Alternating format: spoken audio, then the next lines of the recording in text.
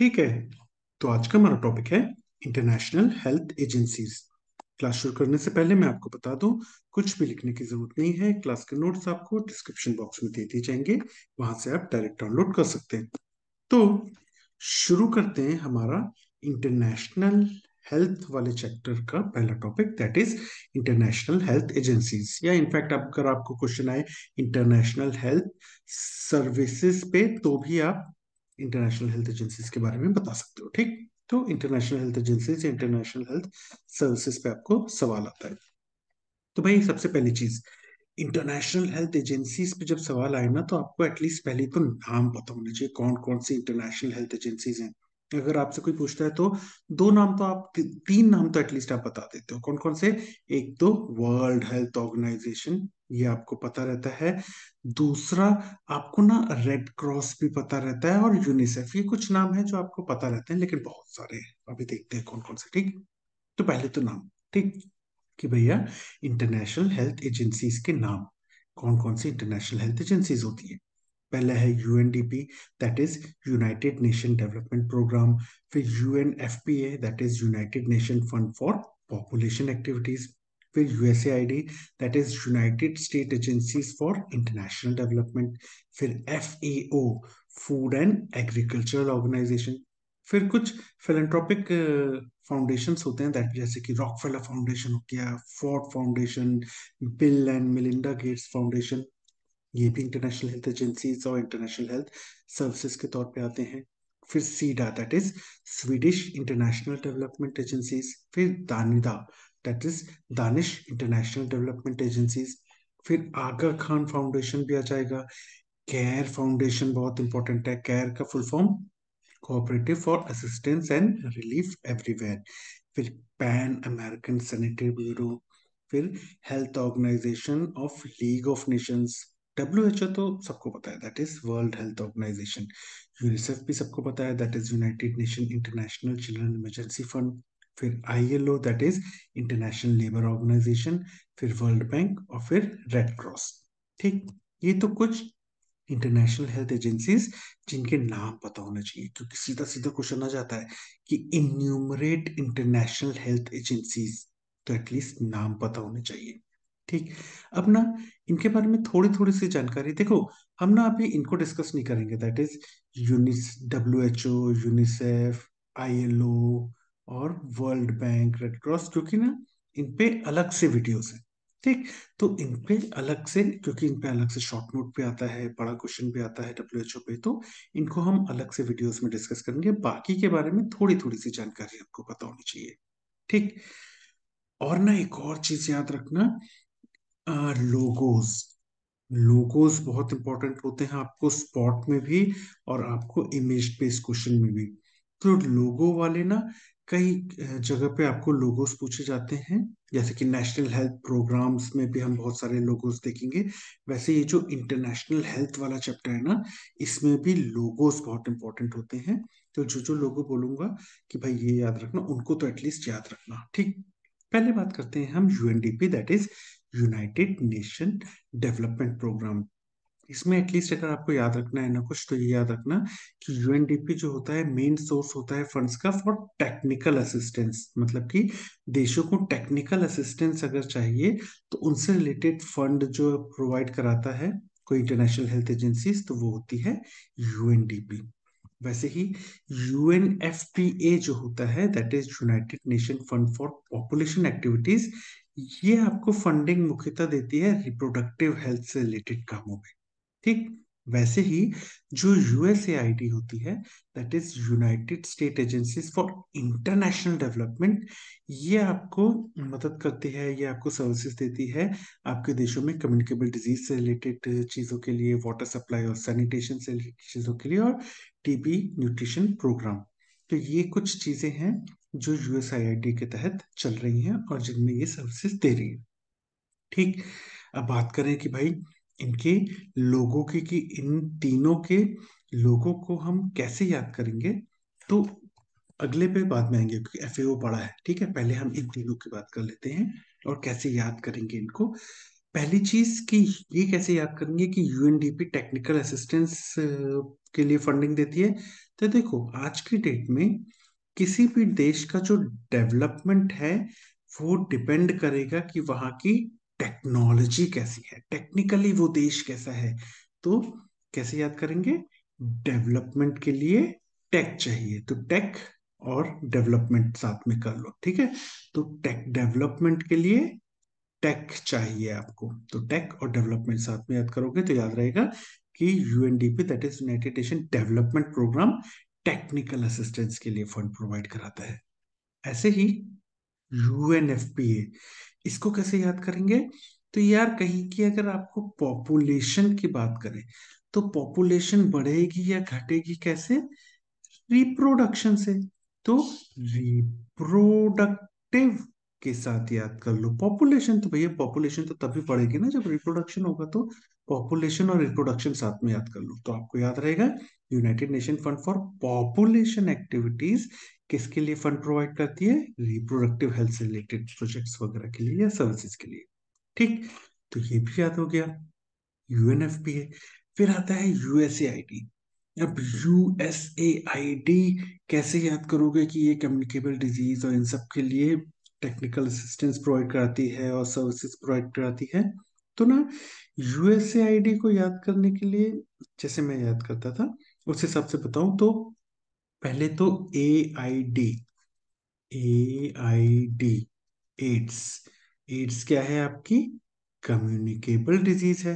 तो इससे याद हो जाएगा कि भैया कम्युनिकेबल डिज़ीज़ हो गई तो यूएसए आईडी जो है वो कम्युनिकेबल डिजीजेस के लिए सर्विसेज़ प्रोवाइड कराता है। उसके अलावा एस जो ये आपका एस बचा ना एस तो एस क्या है? तो एस से तो सैनिटेशन और वाटर सप्लाई आ जाएगा। तो एस से सैनिटेशन और वाटर सप्लाई आ जाएगा। समझ गए? तो ऐसे याद कर सकते हो, क्योंकि कम्युनिकेबल मेन अपन को यूएसआईडी में याद रखना है कि भाई कम्युनिकेबल डिज़ीज़ के लिए तो सबसे ज़्यादा ये काम करती है यूएसआईडी तो उसको याद करने का सबसे अच्छा तरीका एक कम्युनिकेबल डिज़ीज़ का नाम तो इसी में ही है A I D S AIDS तो कम्युनिकेबल डिज़ीज़ के लिए यूएसआईडी मुख्यतः काम करती है इसका ना लोगो भी इंपॉर्टेंट है, क्योंकि इसका लोगो पे अगर आपको क्वेश्चन आ जाए कि लोगो बता दिया जाए, यहाँ पे ये नहीं लिखा रहेगा, सिर्फ़ इतना आएगा आपको। तो कैसे पहचानोगे? तो पहले तो देखो यार ये यूनाइटेड स्टेट्स का फ्लैग भी आपको दिख रहा है। और दूसरी चीज़ ना, ये देखो दो लोग हाथ मिलाते हुए दिख रहे हैं। तो याद है जब एड्स का जो एड्स के लिए, सोशल स्टिग्मा दूर करने के लिए जो एड्स आते थे, उसमें क्या बोलते थे कि जो एड्स है, ये छूने से नहीं फैलता। यही बोलते थे? जो एड्स वगैरह आते थे, एड्स छूने से नहीं फैलता। तो देखो ना कि ये हाथ मिला रहे हैं मतलब छू रहे हैं। तो छूने से नहीं फैलता इस ads.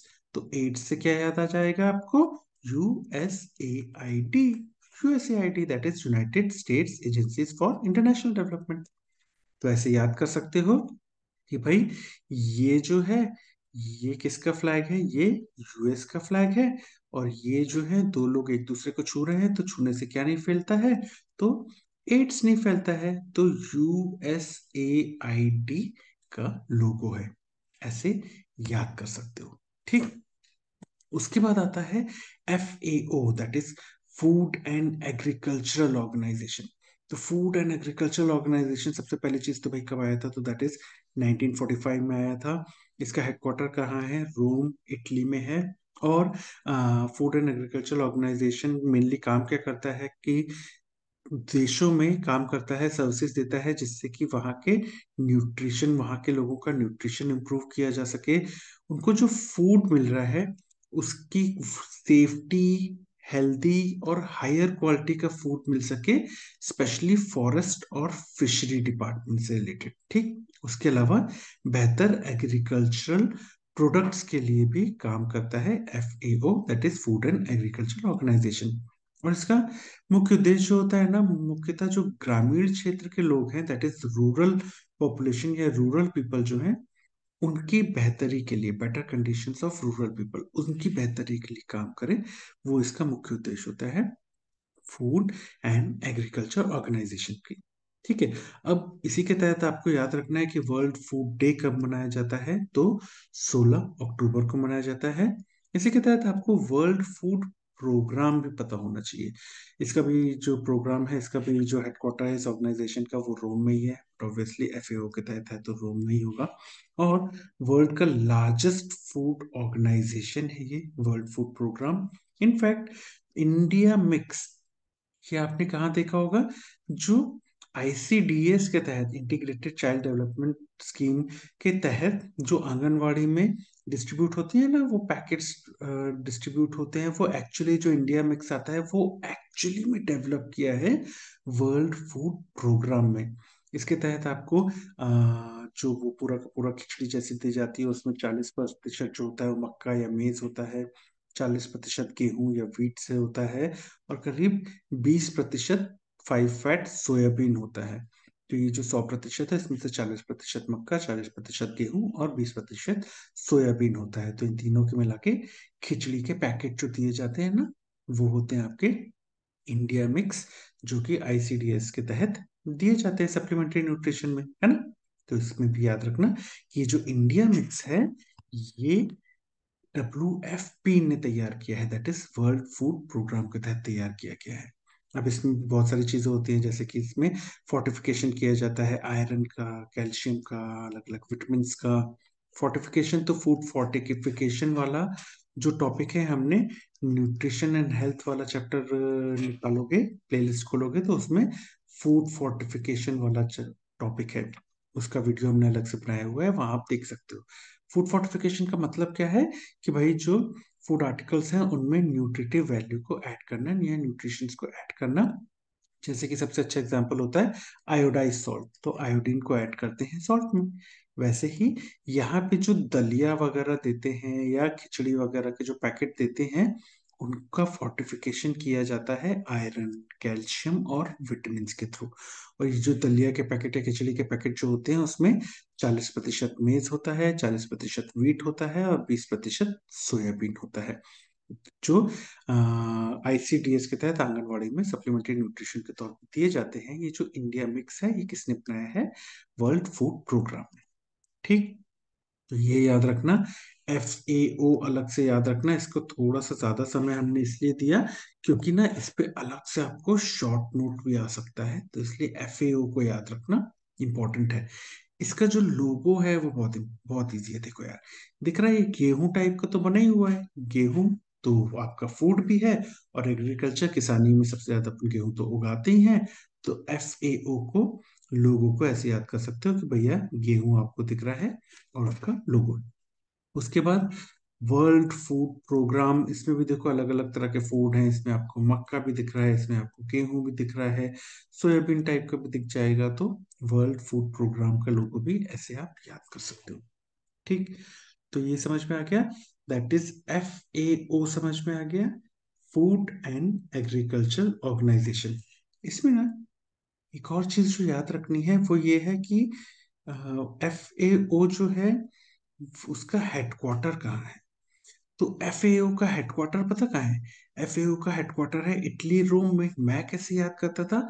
F is food and agriculture तो यार, ना इटालियन फ़ूड मुझे जो सबसे ज़्यादा पसंद है ना, वो है इटालियन फ़ूड और इटालियन फ़ूड खाने में कहीं भी जाता हूँ मैं तो इटालियन फ़ूड ढूंढता हूँ कि यार इटालियन फ़ूड कहाँ मिलेगा? और उसके लिए मैं पूरे के पूरे शहर में रोम अराउंड करता रहता हूँ, घूमता रहता हूँ कि इटालियन फ़ूड कहाँ है इटालियन फ़ूड कहाँ है इटालियन फ़ूड कहाँ है। तो मैं ऐसे याद करता हूँ इटालियन फ़ूड के लिए रोम अराउंड तो इटालियन फ़ूड तो फ़ूड से क्या हो गया आपका? फ़ूड से हो गया आपका food and agriculture organisation Italian से हो गया आपका इटली और रोम से हो गया आपका रोम तो इटली के रोम में फ़ूड एंड एग्रीकल्चर ऑर्गेनाइजेशन का हेडक्वार्टर है। तो ये याद हो गया।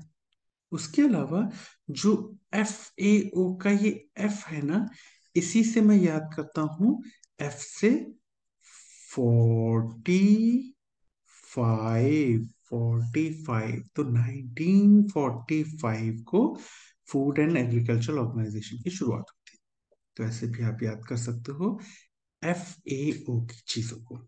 समझ गए? इतना याद रहेगा। That is food and agriculture organisation. ठीक? उसके अलावा अगर आपको याद रखना है कि भाई और कौन कौन सी ऑर्गेनाइजेशन हैं जिनके बारे में आपको पता होना चाहिए तो ना सबसे पहले तो आती है आपकी रॉकफेलर फाउंडेशन अब ना ये जो रॉकफेलर फाउंडेशन है, कि चाहे रॉकफेलर फाउंडेशन बात कर लो फ़ूड फॉर्ड फाउंडेशन ये ना फिलेंट्रोपिक फाउंडेशन होती हैं। फिलेंट्रोपिक यानी कि ह्यूमैनिटेरियन फाउंडेशन होती हैं, यानी कि परोपकारी फाउंडेशन होती हैं ह्यूमैनिटेरियन वर्क्स करती हैं ये। तो ये रॉकफेलर फाउंडेशन भी एक तरह से ह्यूमैनिटेरियन फाउंडेशन है। अगर इंडिया की बात की जाए तो रॉकफेलर फाउंडेशन के तहत ही all India institute of public health खोला गया था कोलकाता में। ठीक है तो ये याद रखना। इसमें एमसीक्यू भी आ सकता है कि रॉकफेलर फाउंडेशन के तहत इंडिया में क्या हुआ तो कोलकाता में all India institute of public health खोला गया था। ठीक? इसका लोगो बहुत इंपॉर्टेंट है रॉकफेलर फाउंडेशन का। तो रॉकफेलर फाउंडेशन का लोगो भी याद रखना इस पे भी आपको सवाल आ सकता है। अब इसका लोगो कैसे याद करता हूँ? तो आ, मैं कैसे याद करता हूँ? देखो ये छोटी छोटी छोटी छोटी रॉक्स हैं। छोटी छोटी जो अर्थ है वो छोटी छोटी रॉक्स में कन्वर्ट होकर टूट रही है। तो रॉक फेल हो रही है। रॉक फेल हो रही है? ये देखो छोटी छोटी छोटी छोटी छोटी छोटी तो रॉक्स के फॉर्म में ये टूट के बिखर रही है अर्थ तो रॉक्स फेल हो रही हैं तो रॉक फेलर फाउंडेशन ऐसे याद करता हूँ मैं, ठीक? तो रॉक फेलर फाउंडेशन याद रहेगा तो पहली चीज़ तो रॉक फेलर फाउंडेशन में ये याद कर सकते हो कि रॉक फेल हो रही है। दूसरी चीज़ कैसे याद करोगे कि भैया कोलकाता में तो देखो आर ओ सी के रॉक फेलर है ना? रॉक फेलर फाउंडेशन है तो के फॉर क्या हो जाएगा? के फॉर हो जाएगा कोलकाता।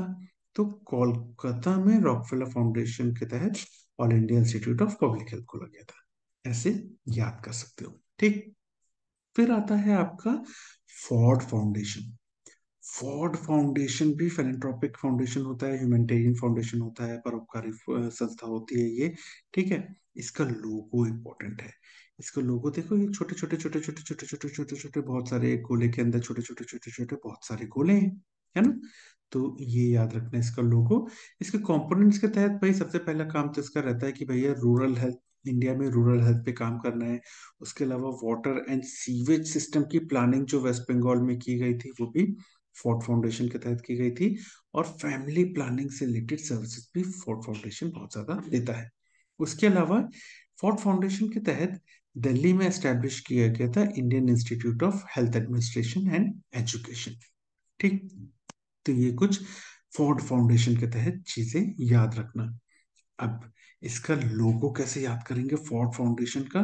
तो फोर्ड की क्या होती है? फोर्ड फोर्ड से सबसे पहले क्या याद आता है? फोर्ड की गाड़ियाँ। याद आती है ना? मतलब मस्त, एक तो मेरे को बहुत पसंद थी आजकल इंडिया में कम है that is Ford Endeavour one of my favourite Ford की गाड़ी है यार फोर्ड एंड डेवियर तो फोर्ड से गाड़ी याद आती है तो गाड़ी में ये क्या है, ये क्या है, गोल गोल गोल गोल चके हैं। तो ये चके, इतने सारे चके दिख रहे हैं, दिख रहे हैं? चके चके चके चके चके। तो ये गोल गोल चके चक्कू से क्या याद आएगा आपको? गाड़ी गाड़ी कौन सी? फोर्ड की गाड़ी। तो जैसे ही फोर्ड नाम याद आए तो समझ जाना इसके लोगों में बहुत सारे चके होंगे। तो दिख रहे हैं ये? फोर्ड की गाड़ी के इतने सारे चके हैं तो फोर्ड फाउंडेशन का सबसे पहली चीज़ तो याद रख लेना फोर्ड फाउंडेशन के लोगो में बहुत सारे चके हैं। ये तो पहले आपने इसका लोगो याद कर लिया, ठीक? उसके बाद ना, ये जो शब्द है that is F O R D इसमें ही आपको बहुत सारी चीज़ें मिल जाएँगी। कैसे? देखो, पहली चीज़ एफ़ फॉर फोर्ड हो गया तो एफ़ फॉर हो गया फैमिली प्लानिंग तो फैमिली प्लानिंग से रिलेटेड जो सर्विसेज़ हैं, वो फोर्ड के तहत दी जाती हैं, ठीक? आर से क्या हो गया? आर से हो गया रूरल हेल्थ। तो रूरल हेल्थ के लिए भी काम करता है तो रूरल हेल्थ वाला पॉइंट भी हमने कर लिया, फैमिली प्लानिंग वाला भी कर लिया। अब ओ से क्या याद आता है? ओ से याद आता है हमको ओशियन ओशन समुद्र। तो समुद्र में पहली चीज़ तो होता है क्या? पानी। और इनफैक्ट बहुत सारे समुद्र में ना सीवेज को भी डिस्पोज ऑफ़ किया जाता है। तो सीवेज को भी डिस्पोज ऑफ़ किया जाता है। तो वाटर एंड सीवेज सिस्टम तो आपको ओशियन से वाटर और सीवेज सिस्टम दोनों याद हो गया। ठीक और वैसे ये जो डी है डी है डी से याद आ जाएगा आपको, दिल्ली। तो दिल्ली में एस्टेब्लिश हुआ था Indian institute of health administration and education तो institute of health administration and education Delhi में फोर्ड फाउंडेशन के तहत लाया गया था। तो ऐसे याद कर सकते हो एफ़ फॉर फैमिली प्लानिंग से रिलेटेड सर्विसेज़ दी जाती हैं ओ फॉर ओशन तो ओशन में वाटर और सीवेज सिस्टम वेस्ट बंगाल में इन्होंने प्लान किया था। आर फॉर रूरल तो रूरल हेल्थ इंडिया में रूरल हेल्थ से रिलेटेड सर्विसेज़ इंडिया में ही देते हैं। और डी फॉर दिल्ली तो दिल्ली में institute of health administration and education Delhi में दिया था। इनफैक्ट ये जो डी है डी देखोगे तो एजुकेशन में भी आ रहा है डी देखोगे तो एडमिनिस्ट्रेशन में भी आ रहा है। ठीक? तो ऐसे याद कर सकते हो फोर्ड फाउंडेशन को। ओके अगला अगला आता है Bill and Melinda Gates foundation अब ना इन्होंने मुख्यतः दवाइयों की वैक्सीन वगैरह इन सब पे ध्यान दिया था तो बिल एंड मिलिंडा गेट्स जो थे, उन्होंने टीबी वैक्सीन पे भी ध्यान दिया था एचआईवी वैक्सीन से रिलेटेड भी काम किया जैपनीज इंसेफ्लाइटिस वैक्सीन से भी रिलेटेड भी काम किया लिशमेनियासिस पे भी काम किया है। तो कुछ ये नाम ज़रूर याद रखना, खासकर बिल एंड मिलिंडा गेट्स जब भी आप बोलोगे तो सबसे पहली चीज़ तो वैक्सीन ही याद रखना, ठीक? अब ना, ये तो हो गए आपके कुछ रॉकफेलर फाउंडेशन फोर्ड फाउंडेशन और Bill and Melinda Gates foundation उसके बाद आते हैं सीडा टानिडा आगा खान फाउंडेशन और कैर फाउंडेशन तो जो सीडा है that is Swedish international development agency इसमें अगर आपको कुछ याद रखना है तो वो है कि इन्होंने इंडिया में किस चीज़ पे काम किया है? टीबी कंट्रोल पे काम किया है। सीडा ने इंडिया में मुख्यतः टीबी कंट्रोल पे काम किया है। एक चीज़ ये याद रखनी, दूसरा इसका ये लोगो याद रखना। ये देखो लाइंस लाइंस अलग अलग कलर की लाइंस है है ना? अब इसके लोगो कैसे याद करेंगे? तो सीडा तो सी सीधी लाइन है इसमें बहुत सारी सीधी सीधी सीधी सीधी लाइन है देख रही है सीधी सीधी सीधी सीधी सीधी सीधी सीधी सीधी सीधी सीधी सीधी लाइन है इसमें पहला तो ये और दूसरा ना मेरे को ना मैंने अपनी हेल्थ का बहुत ख्याल रखा देखो मैंने एमबीबीएस के टाइम पे भी हेल्थ का ख्याल रखा था उसके पहले तो बचपन में स्कूल टाइम पे माता पिता ने बहुत ख्याल रखा हेल्थ का कभी बीमार नहीं पड़े कभी हॉस्पिटल में एडमिट नहीं हुए लेकिन ना जब हुई ना बीमारी मेरे को तो इंटर्नशिप के बाद जो हम, एक साल की जो हमारा जब गवर्नमेंट से करते हैं, एक साल का हमको सरकारी वो करना पड़ता है रूरल बॉन्ड करना पड़ता है, तब जाके मेरे को क्या हो गया था, तब जाके मेरे को टीबी हो गया था। तो ऐसे तो मेरे को कुछ नहीं हुआ लाइफ में, लेकिन हुआ तो सीधा टीबी हुआ। तो कुछ नहीं हुआ लाइफ में, कोई बीमारी नहीं हुई और हुआ तो क्या हुआ? सीधा टीबी हुआ। तो कैसे याद करेंगे? सीधा टीबी हुआ तो सीधा टीबी कंट्रोल इन इंडिया पे ध्यान देता है और सीडा में सीधी सीधी लाइन्स हैं इसके लोगों में। तो ऐसे याद कर सकते हो सीडा को that is Swedish international development agency मैं तो ऐसे याद करता था। ठीक। उसके बाद DANIDA that is Danish international development agencies तो ये तो अलग अलग प्रोग्राम्स पे काम किया है इसने इंडिया में जैसे कि national programme for control of blindness and visual impairment उसके अलावा national leprosy education programme national tuberculosis programme तो इन सब पे डाइंडा ने काम किया है इनसे रिलेटेड सर्विसेज़ देते हैं। उसके बाद आगा खान फाउंडेशन जो है, इसमें जो आपको मेन चीज़ याद रखनी है ना, कि ये पॉवर्टी को डिक्रीज करने के लिए सर्विसेज़ देती है अपनी कि दूर, देशों में गरीबी दूर हो सके, उससे रिलेटेड सर्विसेज़ देती है ये और गरीबों के लिए काम करती है। इसके एलिमेंट्स में हेल्थ एजुकेशन आता है रूरल चिल्ड्रंस के लिए पॉलिसीज़ आती हैं तो इसके लिए। तो हेल्थ एजुकेशन एंड पॉलिसीज़ कहाँ के लिए? रूरल चिल्ड्रन के लिए और मेनली ये काम करती है पॉवर्टी के लिए। तो आगा खान फाउंडेशन अब इसमें जो याद रखना है ना, दो चीज़ याद रखनी है। पहला, आगा खान फाउंडेशन पावर्टी से को कम करने के तरफ़ ध्यान देती है। दूसरी चीज़ कि गाँव में जो बच्चे हैं रूरल चिल्ड्रन उनकी हेल्थ एजुकेशन और पॉलिसीज़ उनकी हेल्थ पॉलिसी से रिलेटेड सर्विसेज़ देती है और उससे रिलेटेड काम करती है। याद कैसे करेंगे? ए जी ए आगा फाउंडेशन तो जी से पहला क्या हो जाएगा? जी से हो जाएगा गरीब तो पावर्टी और जी से ही क्या हो जाएगा? जी से हो जाएगा गाँव। तो गाँव के बच्चे दैट इज़ रूरल चिल्ड्रन तो ऐसे याद कर सकते हो। आगा खान फाउंडेशन मुख्यतः गरीबी और गाँव के बच्चों के लिए काम करती है। ठीक? तो ऐसे याद कर सकते हो। फिर आता है CARE foundation full form cooperative for assistance and relief everywhere इसका जो हेडक्वार्टर है अटलांटा जॉर्जिया यूएस में है और ये नॉर्थ अमेरिका में 1945 में शुरू किया गया था। मुख्यतः ये मेटरनल चाइल्ड हेल्थ पे काम करता है एनीमिया पे काम करते हैं एडोलसेंट हेल्थ पे काम करते हैं। ठीक? ये थोड़ी सी जानकारी इनके बारे में। इसका लोगो इंपॉर्टेंट है भाई साहब। केयर का लोगो ये दिख रहा है। इसको आ, इतने सारे इतने सारे इतने सारे हाथ दिख रहे हैं ये एक्चुअली लोगो है। तो आ, हम बात करते हैं ना कि भैया कि हमको ज़रूरत लाइफ में किसकी है? हमको ज़रूरत है केयरिंग हैंड्स की। बोलते ना कि मदद के लिए हाथ बढ़ाओ दैट इज़ केयरिंग हैंड्स तो केयर जब भी आएगा शब्द तो केयरिंग हैंड्स मदद के लिए हाथ बढ़ाना। केयरिंग हैंड्स याद आएगा तो केयर के लोगों में आपको याद आ जाएगा कि बहुत सारे हाथ हैं। सिंपल तो ऐसे याद कर सकते हो केयरिंग हैंड्स को। ठीक?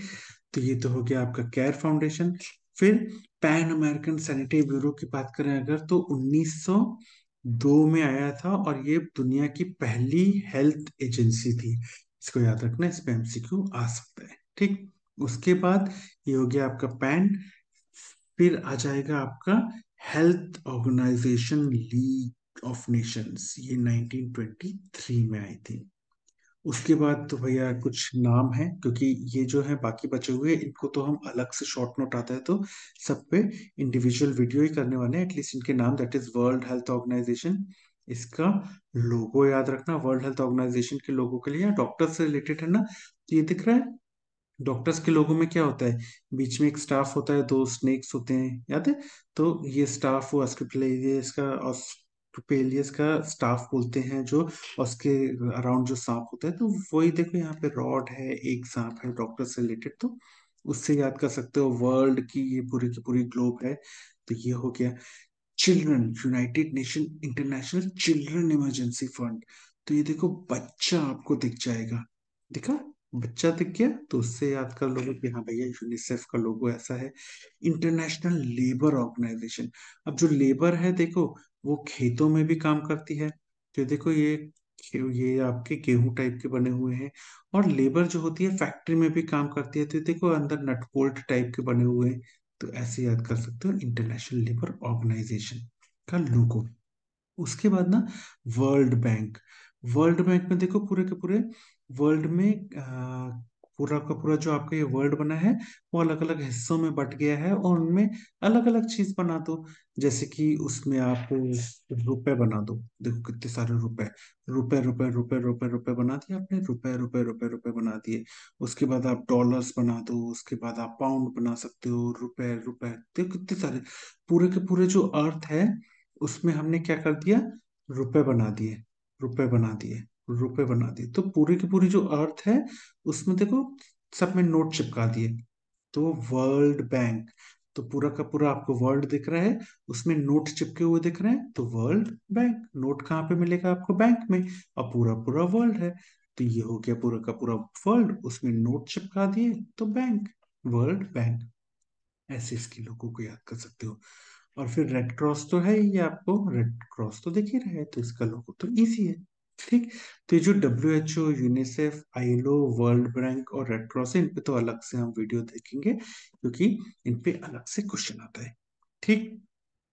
तो इतनी चीज़ें तो हो गई जो एटलीस्ट आपको international health education international health agencies के बारे में पता होनी चाहिए। अगर मैं बात करूँ सवाल की तो यार देखो, आपको ना इस पे थ्योरी एग्ज़ाम में वेरी शॉर्ट नोट आ सकता है।